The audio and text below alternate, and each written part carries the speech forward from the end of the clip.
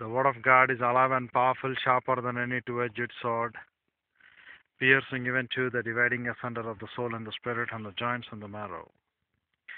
And it is a critic of thoughts and intents of the heart. All scripture is God breathed and is profitable for doctrine, for reproof, for correction, for instruction in righteousness, that the man of God might be mature, thoroughly furnished unto all good works. Study to show thyself approved unto God, a workman that needeth not to be ashamed, rightly dividing the word of truth, or accurately handling the word of truth.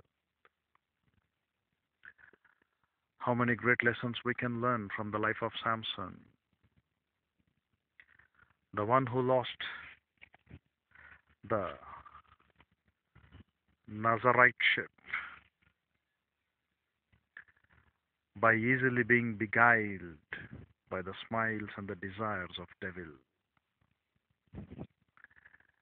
Even today in the Christendom of the church age, the believers who are being called as sons of God,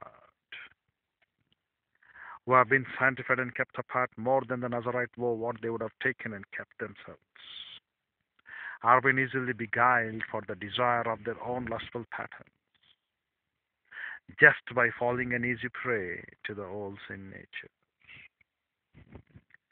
We learn two imprisonments.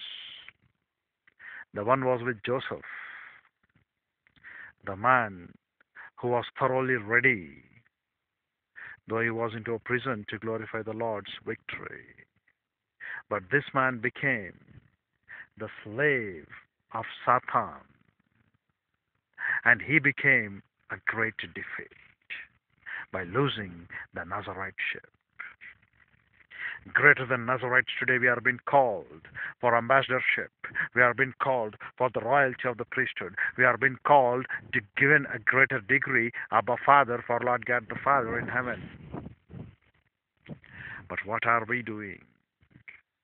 We learn from Judges 16:21 the Philistines seized Samson and put out his eyes, bound him with fetters of bronze, and he had to grind in the prison house. This was the depth of degradation to which Samson's departure from God brought him. This one, whose name means as the sun, is seen grinding for the enemies of the Lord in the blindness and darkness of his lost Nazariteship. That is the walk of each and every believer blindness and darkness walking in the darkness of this world when we are not walking in the light. This is what the lesson we can learn even from the life principle of 1 John 3 6 and 7. He is light, we need to walk in light. 1 John 2 6. When we are not walking in the light, then we are grinding in the prison of blindness and darkness of Satan. Why? Because old sin nature controls our soul. And when old sin nature controls our soul, we do know what are the fruit of the flesh. The fruit of the flesh is constantly evil, evil, evil, evil. It is living a life that is satisfying to Satan, not to God. Even as such, many of the people are there today, though they have been sealed by the guarantee of Lord the Holy Spirit as a pledge given to you at the moment of salvation. We are loving to live a life in darkness. We are not able to expose our deeds in light and correct them and get back to the reality of the world by understanding that this world is temporary. The deeds that you do in the energy of your flesh is temporary. You need to have a look upon permanent things which is to be done in the light, in the light of Bible doctrine, to live a true worth of our salvation where Lord has given us this daybreak. Dear brethren, we need to understand why Lord has delivered us from the kingdom of darkness and transported us into the kingdom of light through his redemption of cross, through his redemption of his blood upon the cross. We are not here to waste our time. We are not here to spend our time in useless and worthless speculations.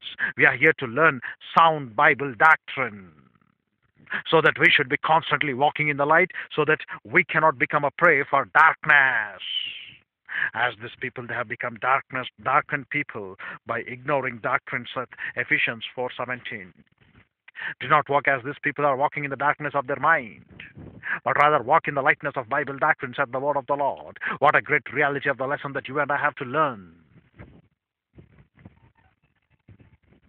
But we are still alienated, we are still darkened, we are still walking in darkness. Isn't it a great pain for us to note these things? Absolutely great pain for us to note these things that we are not walking in the truth. And when Second John writes, Apostle John, he tells, I love to cherish to tell to you that your children are walking in truth. Today, where are we walking? If we walk in the truth and light of Lord God Almighty, we will not yield to the lust patterns of the sin nature, and we will not lose our our our sanctification in Christ as a royal family of God members. Samson lashed right ship. We are not here for apostles. Apostles were only 12. The 13th one being in replacement of the 12 apostle Paul. But we are now the who are the children of God, the great royal family of God. And we have been given the sanctification process to be kept pure. There is one mention of a prison in scripture before this. Joseph was cast into the cast into it because he stood firm to his devotion to God and his determination not to sin against him. That devotion meant much suffering, but it was a path of victory in Lord's glory. Here is a woeful contrast. Joseph's prison meant victory, Samson's prison meant utter defeat. What a host of Philistines and all the strength had failed to accomplish. His own unbridled desire had bottomed out.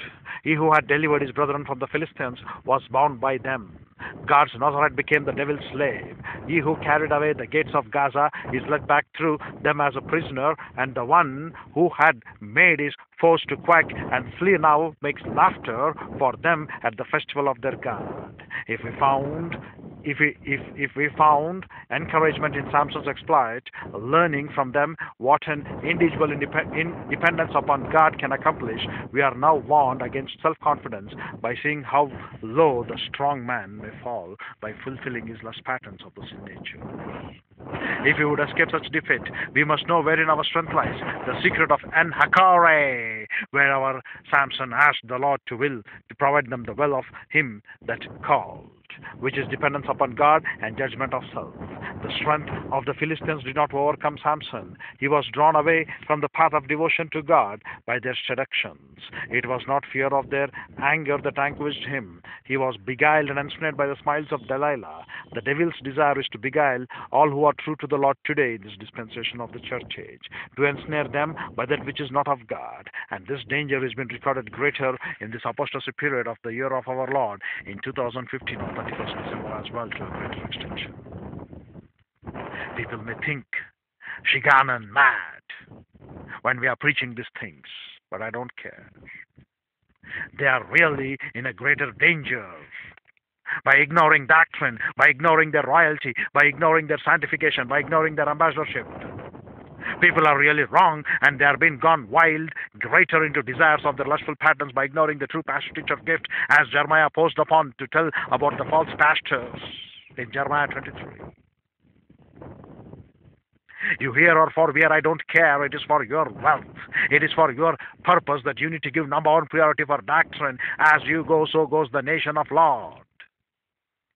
As you take number one priority, so will be the Bible doctrine for your soul, so will be the breath to your body. Number one priority when you take breath to survive on this earth.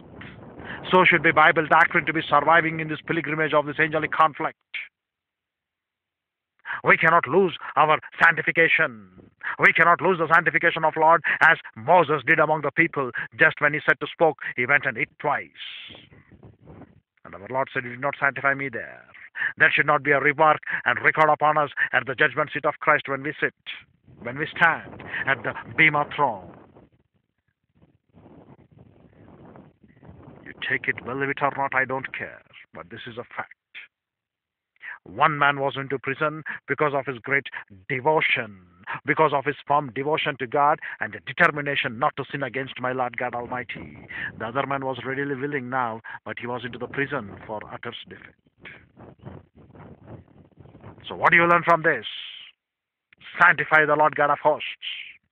He alone is our fear. He alone is our dread. He alone is our terror. And we need to sanctify Him above all other things.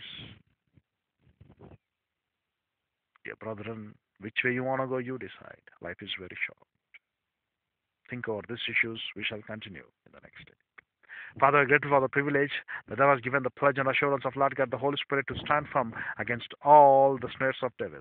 Help us to strengthen more and more so that we could live a life, a life that is maximum glorifying unto thee, to the praise of your glory and your grace, because you have chosen and founded us before the foundation of the world to the praise of your glory. Help us to establish that things rather than involving ourselves into the utter darkness of this world, which is blindness and darkness all the time. Help us to know thy truth, thy truth, and thy truth alone. Because the entrance of the word give us light, and we need to walk in the light. When we walk in the light, we can do we can undo the works of the evil and show forth thy glory in this midst. Help us to do by holding forth thy word of Lord, and help us to really glorify thee. For we ask it in Christ's name, Father. Amen.